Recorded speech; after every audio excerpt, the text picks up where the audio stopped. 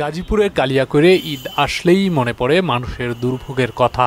নারীর টানে উত্তরবঙ্গের বাইশ জেলার মানুষ প্রতি বছরই ঈদে যানজটে চরম দুর্ভোগে পড়েন। এই ফুটপাত আর এই যে দোকানগুলা যে হকারগুলা এগুলা অবশ্যই ক্লিয়ার রাখতে হবে। এলে রাস্তাটা ক্লিয়ার থাকবে। হাইওয়ে রোডে ঠিক আছে যেভাবে অটো রিক্সা যেভাবে চালায় সেনজি এরকম করে চালায় না অবৈধভাবে মনে করেন রাস্তাঘাটে ফুটপাত এরকম মানুষজন রাস্তাঘাটে আইসা ই করে হরেন দিলে চাপে না। মহাসড়কের উপরে যত্রতত্র বাস ব্রেক করে যাত্রী ওঠানামা করায় আমাদের বেপরোয়া অটোরিকশা অবৈধ অটোরিকশার কারণে যানজট বাজে। ঈদের সময় রাস্তাঘাটে অটো রিক্সা চলার কারণে জ্যাম বাজে এবং অ্যাক্সিডেন্ট বাইরে যায়।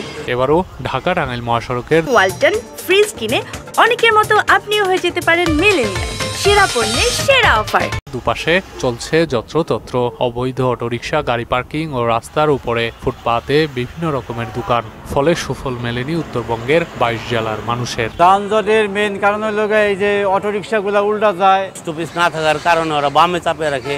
অটো রিক্সাগুলো উল্টা পাল্টা চলাফেরা করে যে কারণে গাড়িগুলো চালাইতে পারে না। অটো তো রুটে মেন রুটে চলাই নিষেধ এটা আমাদের সাভার থানায় চলে না অথচ এই যে দিক দিয়ে চলে কোনো কৈফত নাই। অনেক গাড়ি রাস্তায় দেখা যায় পার্কিং করে রাখে ঠিক আছে?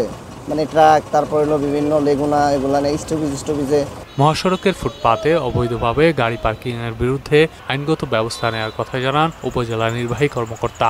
কিছু ট্রাফিক পুলিশ মোতায়েন বিশেষ করে চন্দ্রা মোড় এবং কালিয়াকৈর বাস স্ট্যান্ড এবং সফিপুর বাজার যে জায়গাগুলোতে বেশি যানজট হয় সেখানে যান চলাচল নির্বিঘ্নে রাখার জন্য। এটি একটি। আরেকটি হচ্ছে আপনার পৌরসভাকে নির্দেশনা দিয়েছি হচ্ছে আমাদের যে কিছু বাস স্ট্যান্ডে যত্রতত্রভাবে বাস পার্কিংয়ের মাধ্যমে এবং অটোরিকশা পার্কিংয়ের মাধ্যমে আমাদের যান কিছু প্রতিবন্ধকতা তৈরি হয়। এটি যাতে না থাকে তো তারা ব্যবস্থা নেবে বলে আমাকে আশ্বস্ত করেছে। যাত্রীদের স্বস্তিতে বাড়ি ফেরা নিশ্চিত করতে সব ধরনের ব্যবস্থা নেওয়ার কথা জানিয়েছে হাইওয়ে ওসি। রাস্তা যেন যানজট না হয় সেজন্য আমরা অবৈধ দোকানপাট অবৈধ পার্কিং এবং অবৈধ থ্রি হুইলার বিরুদ্ধে ব্য- ব্যবস্থা নিচ্ছি এবং প্রতিনিয়ত আমাদের অভিযান অব্যাহত আছে। যানজট ঠেকাতে সবাইকে ট্রাফিক আইন মানা ও সচেতন হওয়ার পরামর্শ দিয়েছেন তিনি।